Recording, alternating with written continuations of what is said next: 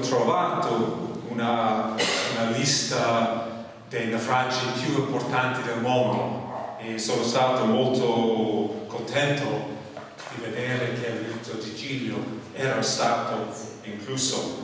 Qui c'è la lista e do you? E lì e la cartina e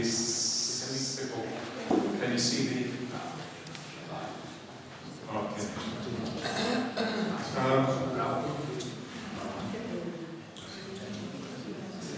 credo che ormai molte persone conoscono la storia del rito di Giglio che fu scoperto nel 1961 dal famoso sommozzatore inglese Reg Valentine il quale aveva a quel tempo una scuola di, di, di sud, di immersione in questa isola. Cesare? Yeah. Picture Reg? Okay.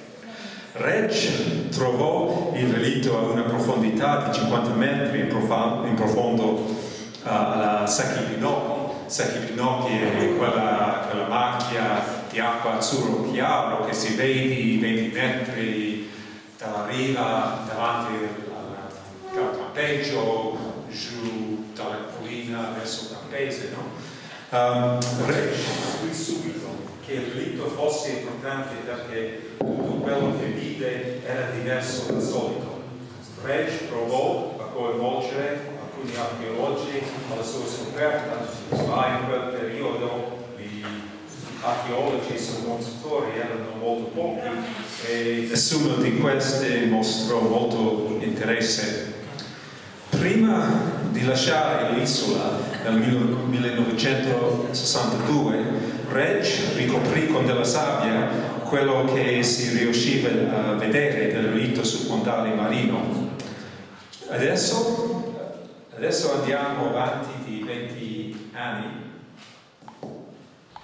e arriviamo al 1981 quando mia moglie, mia moglie Giovanna e io notammo per caso il manico di un'ampia etrusca a casa di un sommozzatore che era stato uno studente di Reg nel 61. Questo ci mise in contatto con Reg e fu nell'incontro che seguì quando lui mi mostrò alcune... Cambia il microfono. Allora? Sì? Um, questo ci mise in contatto con Reg e fu nell'incontro che seguì quando lui mi mostrò alcune vecchie foto di ceramica provenienti dal rito che mi rese conto che per caso mi ero imbattuto in qualcosa che poteva avere una straordinaria importanza archeologica. Ok, Cesare? c'è un foto, una vecchia foto di Reg, no? Eh. Io allora ero un studente di Oxford e quindi non avevo alcuna influenza o credibilità, ma grazie alle foto di Reg riuscì a convincere i miei, superiori dell'importanza del rito, in particolare il famoso professor Sir John Boardman. L'Università diedi il proprio supporto al progetto e lo stesso fece in seguito la soprintendenza per i beni archeologici della Toscana.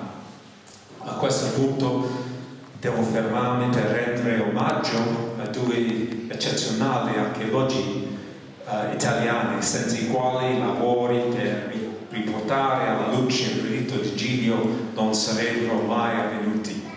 Il primo è il professor Francesco Nicosia, ormai deceduto, che era in quegli anni capo della soprintendenza per i beni archeologici in, Florence, in Firenze. E la seconda è la dottoressa Paola Randini, che era ispettore archeologica dell'isola del Giglio. È una picture of Paola. Paola è la seconda dalla sinistra. Paola è naturalmente conosciuta da tutti qui a Giglio, infatti la sua professionalità come, come archeologa è anche una persona assolutamente uh, squisita.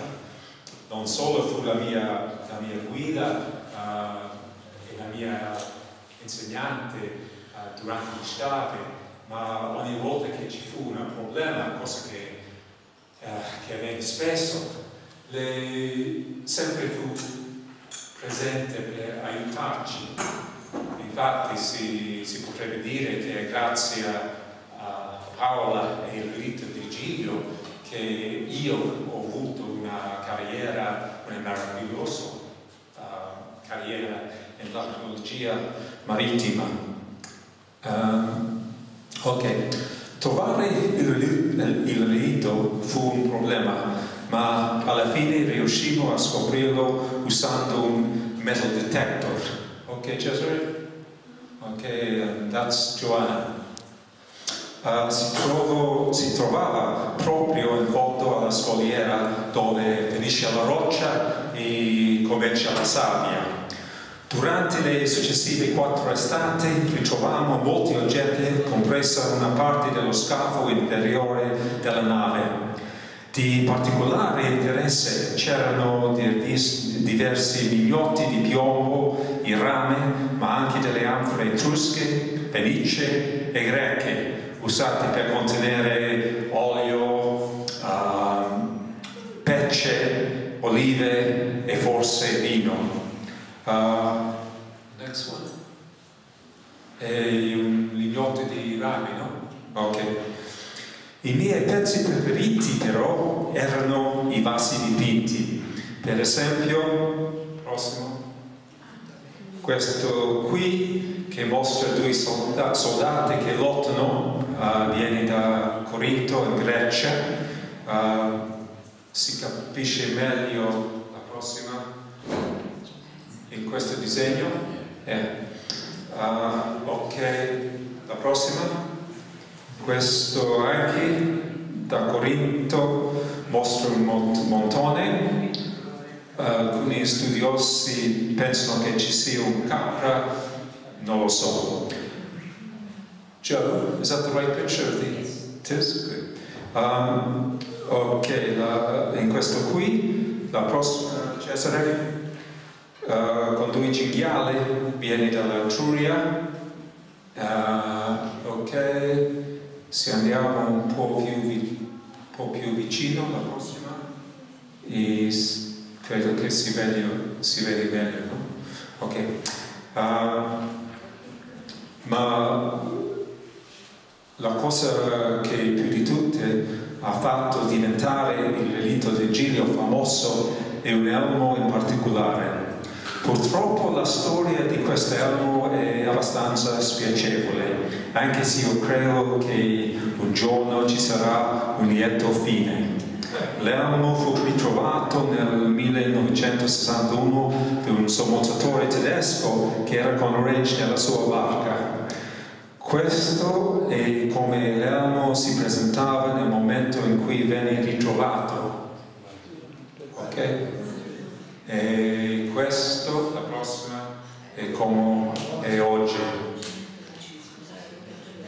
È un elmo di una perfezione unica, non solo per la sua forma proporzione elegante, ma anche per l'eccellenza tecnica con la quale venne costruito. Era stato battuto infatti utilizzando una sola lamina di bronzo.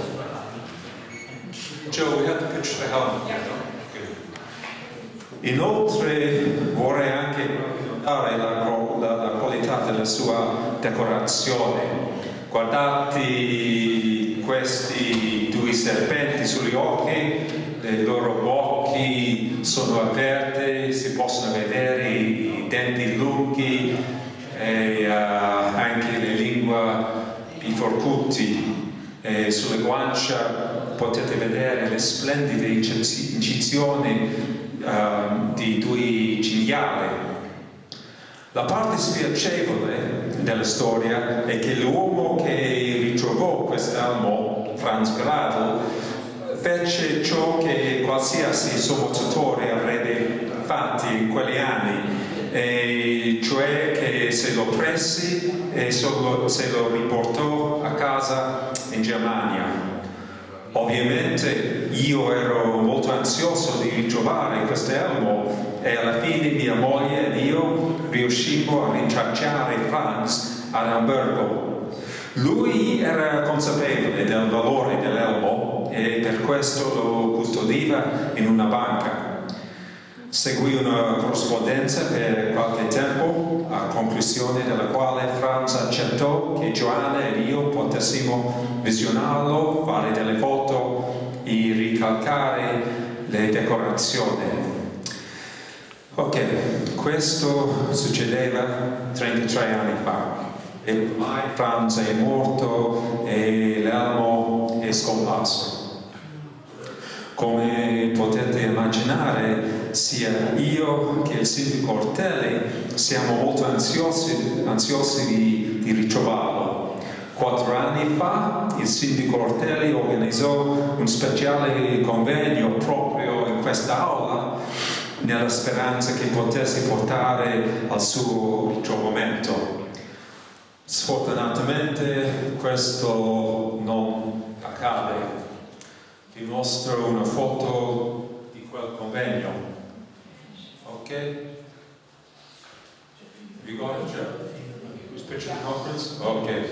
Vorrei richiamare la vostra attenzione sulla splendida copia in bronzo dell'elmo fatto dal maestro Mario, Mario Randaglia, pittore e scultore bene conosciuto e nato qui a Giglio e anche qui vorrei fermarmi un momento per esprimere la mia, la mia gratitudine al mio amico Mario, che è rimasto se sempre una, una, una grande uh, sostenitore degli scavi. Thank you Mario.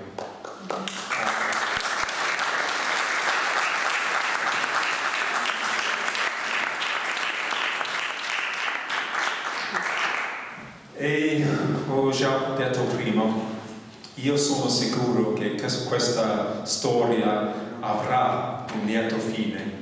Del Giglio è così famoso che non potrà rimanere perso o nascosto per sempre.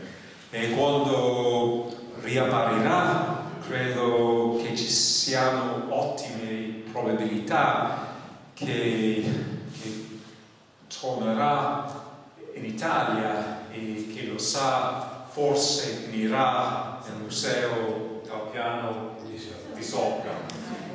una bella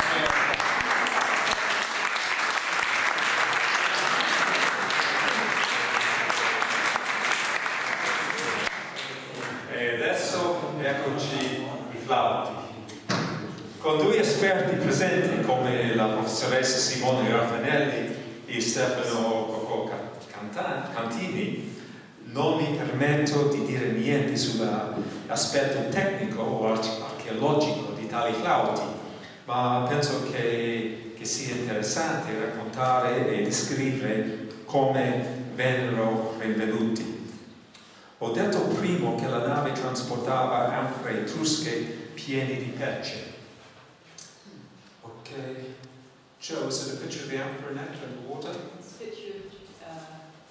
The Algarve and you redone it. Okay, next one. That's, yeah, this picture is the drawing.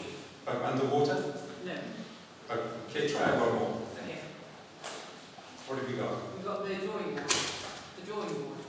I think we've gone too far. Too It's far. okay, yeah. All we're trying to get is a picture of the amphora underwater Yeah, with you and... yes, you have. Questo è il polo e il labbro di un anfo etrusco, la roba nera che, che vedete sulla, sulla labbro uh, è la perce. Sul fondo del mare alcuni anfre si ruppero e la perce a causa della sua natura vischiosa si distribuì e con il tempo ricoprì alcune parti del sito. Questo rese difficile i lavori di scavo, ma ci rendiamo subito conto che questa perce era invece una benedizione perché aveva salvato oggetti che in normali circostanze sarebbero marciti o sarebbero stati erosi o danneggiati di parassiti marini. Ok, per esempio questo coperchio finemente scolpito è sopravvissuto solo perché, solo perché ricoperto da pece. Is it the wood job? Ok, eh, ok, la prossima, Cesare. E lo stesso si può dire di questa tavoletta per la scrittura. Yeah. Ok, la prossima. Uh, vorrei, uh, vorrei precisare qui che sto parlando uh, di oggetti in, in legno. Particolarmente sorprendente fu il ritrovamento di questo set di calibri. Next one, the calibers. Un pezzo di tecnologia avanzata che nessuno sapeva esistesse già nel 600 a.C. E naturalmente è stata proprio la pece a preservare i flauti. Ok, now towards the flute, la prossima. Yeah? Okay. La pece non solo ricoprì i flauti, ma finì dentro, i fori e in qualche caso riempì completamente il loro intorno. Uh, la prossima? Picture dive. In tutto gli scavi riportarono a luce un flauto intatto e 17 pezzi rotti. Erano tutti fatti in legno di bosso e a parte uno che era in avorio. Uh, next one, prossima. Da una selezione di pezzi riuscimmo a mettere insieme a un flauto che aveva cinque fori in alto ed uno in basso. Next one, last one. Secondo i nostri studi, la nave trasportava un minimo di 9 o 10 flauti. Questi erano di varie, di varie lunghezze, diametri e posizioni di fori e la nostra conclusione fu che proprio a causa di queste differenze non si trattava di merci, ma molto più probabilmente appartenevano ad uno dei passeggeri o a un membro dell'equipaggio. Se fossero stati parte della merce trasportate, ci saremmo aspe aspetti, aspettati una maggiore uniformità. Ok, sono arrivato alla conclusione. Mi sono sempre chiesto quale fosse il suono di questi flauti, come venissero suonati e che ruolo avessero nella società greco-etrusco. Adesso, grazie al lavoro di Simona e Stefano, sto per scoprirlo. Infine, vorrei ringraziare il sindaco Ortelli non solo per aver organizzato questa conferenza, ma anche per il modo in cui ha promosso personalmente le iniziative relative al relitto del Giglio, che, come, come abbiamo visto, è un reperto di importanza straordinaria, non solo per questa isola, ma per tutto, tutta Europa. Grazie a tutti.